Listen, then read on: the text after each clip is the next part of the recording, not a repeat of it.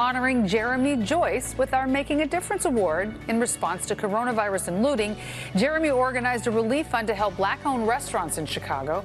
Jeremy's original goal was to raise $20,000, but thanks to an amazing show of support, he raised more than $75,000.